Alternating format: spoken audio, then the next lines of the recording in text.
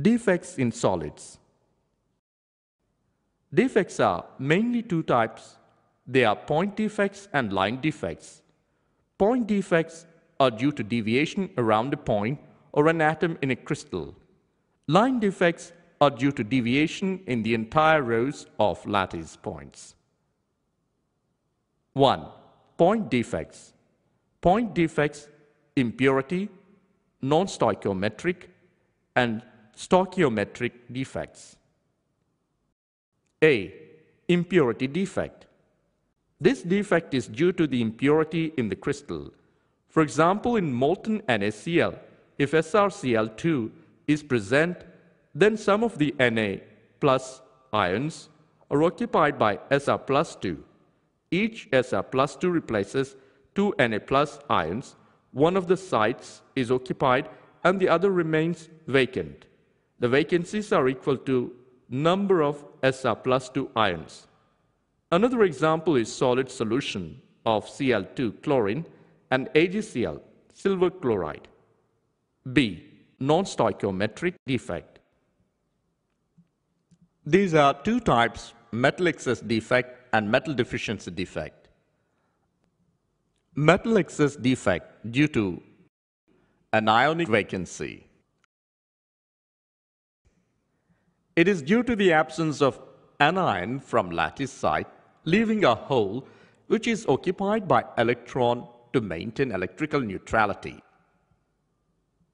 The anionic sites occupied by unpaired electrons are called F centers. German word.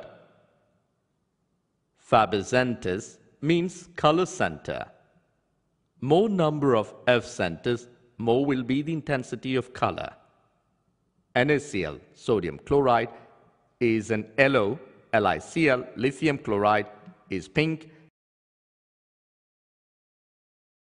Metal excess defect due to presence of extra cation at interstitial sites. Example, ZNO, zinc oxide. This is due to the movement of metal ions to interstitial sites and the electrons to neighboring interstitial sites. Example, ZNO, zinc oxide, is white when cold and yellow when hot because it loses oxygen and Zn plus 2 ions occupy the interstitial sites.